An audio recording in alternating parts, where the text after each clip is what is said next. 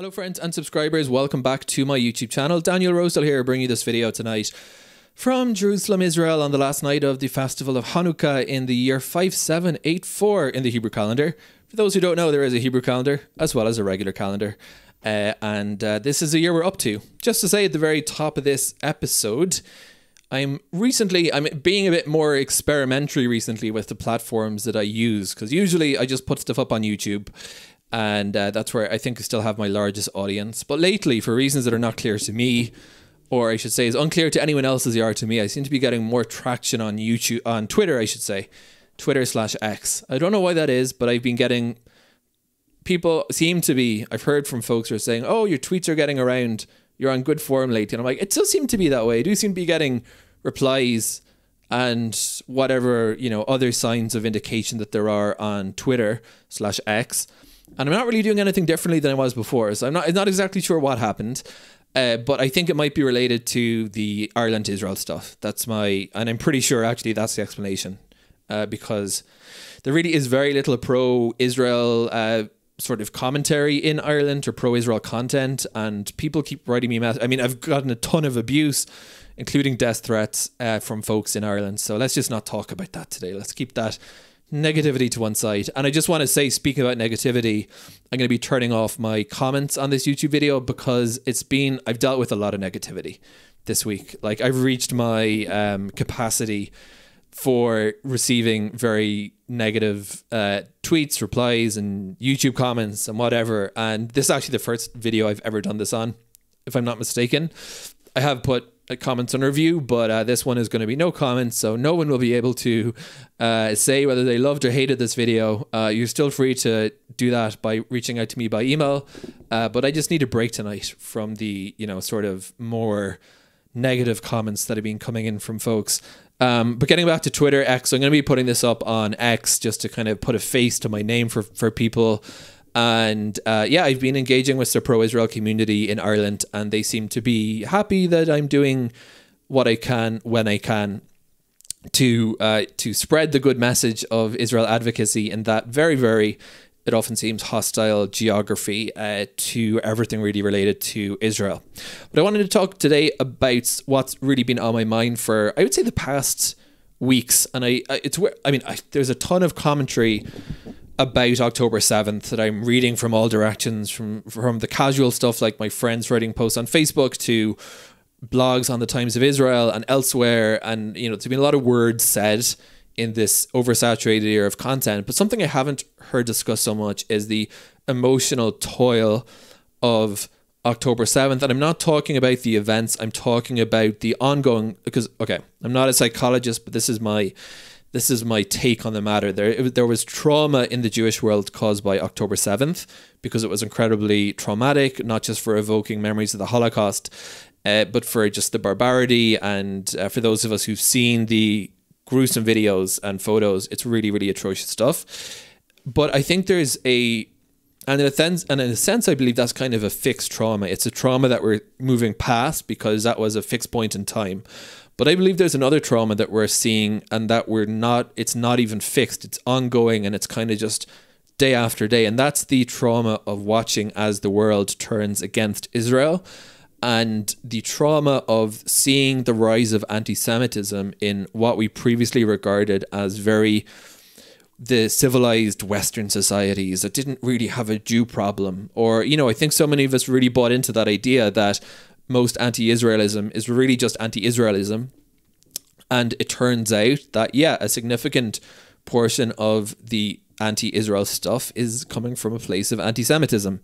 Um, so you know we're seeing that I've been watching, I've been documenting the anti-Semitic commentary coming from Ireland.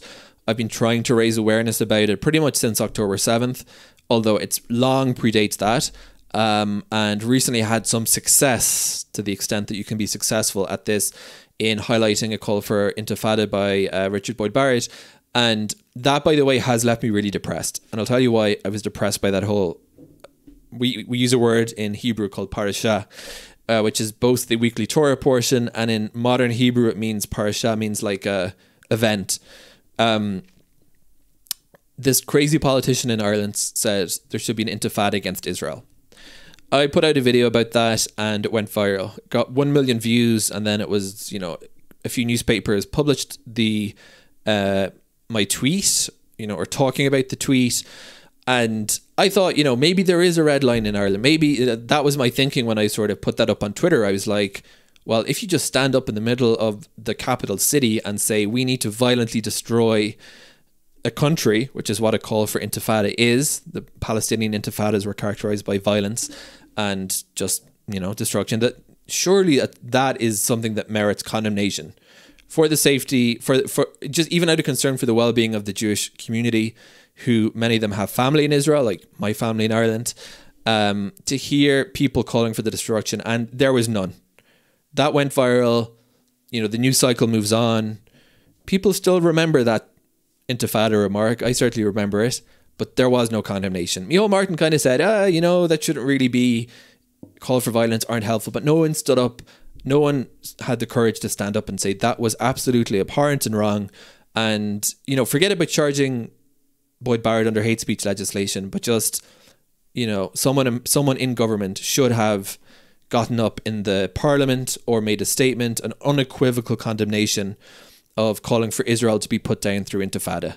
And that never happened. And I have to say, I lost an awful lot of respect for uh, for Ireland in the wake of this incident.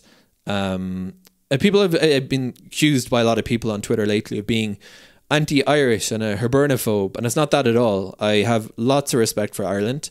Um, I had mostly a good upbringing in Ireland. Um, I know that there are pro Israel people in Ireland, which is why I interviewed one of them last week to try to create some balance. But when I say I've lost respect for Ireland, I, just mean in, in, in relation to its treatment of Israel. Um, like, there's kind of no coming back from this incident for me. Um, I really don't have much other to say than I think we should recall the embassy in Dublin, the uh, Israeli embassy, and. Uh, because yeah, it's just really it's at that level of hatred that I put it almost on a par with the Arab world in terms in terms of its open hostility towards Israel.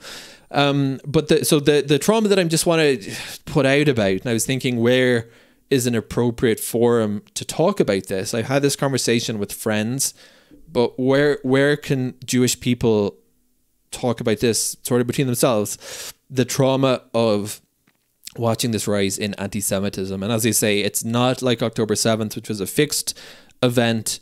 It is an ongoing trauma. We're witnessing it getting worse and worse by the day. And, you know, I'm seeing it happening in all over the world, in London, the US.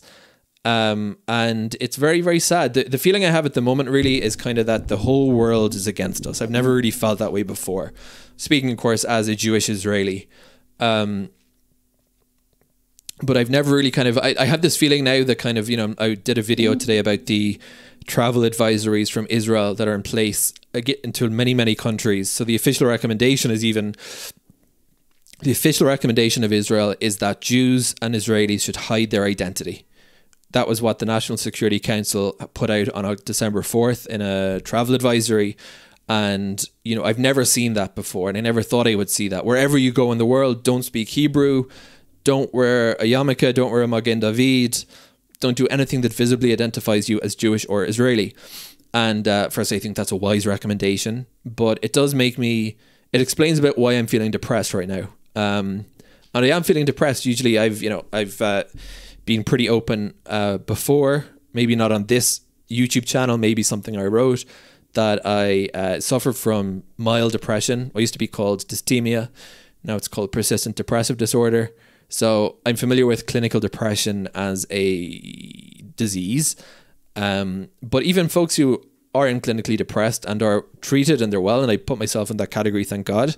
Um, we have there are times when we get depressed by the world, and that's how I felt lately, uh, which is kind of weird because usually I get depressed by um, if I get depressed in the colloquial sense of the word, uh, you know, it's by stuff going on in my personal life. Like we moved apartments in my wife and I in the summer, and it was pretty terrible experience, I would say, getting kicked out by our old landlord because he wanted to give away his apartment, which he was entitled to do, but it's still not a nice thing to go through.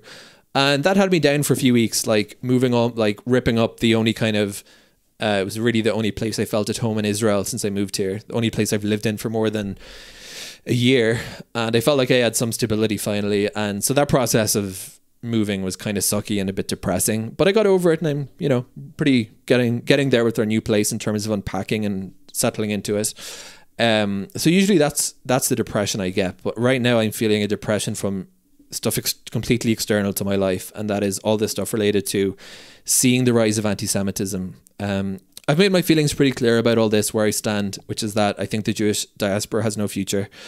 Um, and I think that all Jews should move to Israel. I really do, honestly. Um, and uh, I think we're at a fork in the road now where some people will and some people won't.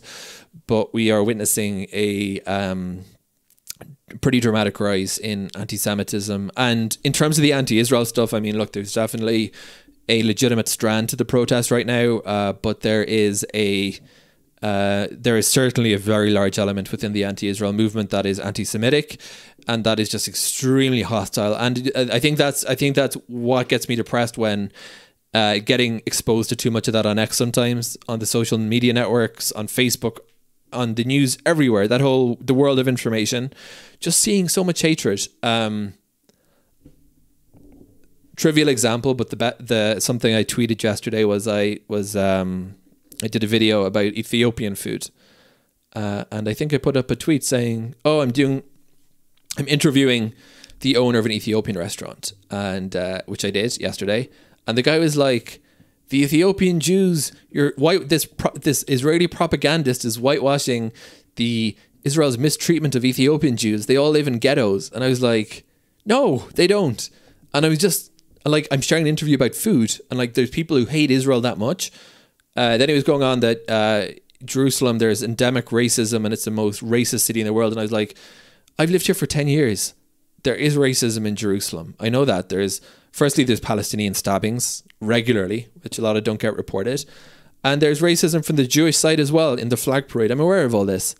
But to say it's the most racist city in the entire world and racism is endemic and happens every day, I'm like, it's absolutely not true. So it's just this level of hatred for Israel that I find quite upsetting. Um, it's not the people critiquing the casualties in Gaza, because as I said before, I think that's a legitimate conversation. Is it proportionate? Does it need to be this way?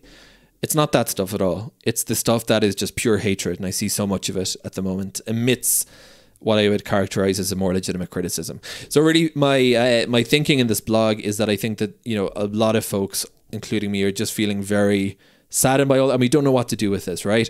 Because when it comes to anti-Semitism, people say we need to combat anti-Semitism, and I see so many of these organizations cropping up now, like the Combat Anti-Semitism movement. They're all well intended. I'm sure they're all doing important work, but it just feels to me like that doesn't it's not really that doesn't really help the situation like we're not going to um stop anti-semitism i don't think ever no matter how many organizations we set up no matter how much of this kind of work that i've been doing lately and highlighting it that we do it's going to exist and i think the emotional work i'm not in therapy uh, at least at the moment but it is kind of more i think a therapeutic concern is how do we uh, people who are just feeling this weight and sadness and anxiety and uh, I, I, I eventually posted on reddit of all places in the judaism subreddit because again i was just like where i've had this conversation with my friends but where can i have a broader conversation online about this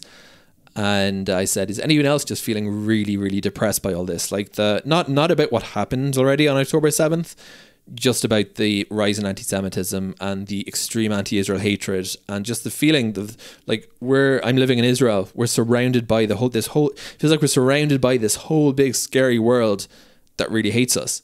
It feels like nowhere outside of Israel is really safe right now.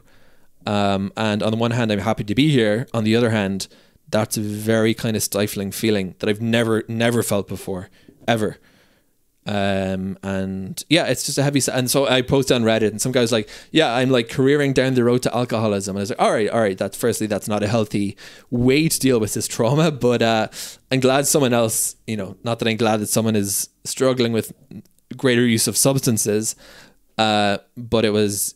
You know, I kind of felt like, oh, okay, so there's other people that are really, really struggling right now with this, and you know, I would, I would say for me, it's less anxiety um, my anxiety is more about the war, to be honest. Like it's more about what direction is it going to take. but I also I'm a religious person. I do believe in in in God. I wouldn't be here if I didn't in Israel, and uh, I think my faith kind of negates that anxiety. I'm like, well, it what what will be will be, and hopefully there's someone protecting us. I'd like to think, um, but the depression is more what I'm feeling, much more than the anxiety. It's the depression of, wow, this is grim. There's a lot of hatred A lot of hatred weighing down on us in Israel, this tiny little speck in the Middle East. There's people everywhere who just absolutely hate us. And within that group of people, there's a lot of people who wish that the Jews were gone and Israel were gone. And uh, yeah, it's a little bit scary and depressing. All right, that's my vent for today into the webcam.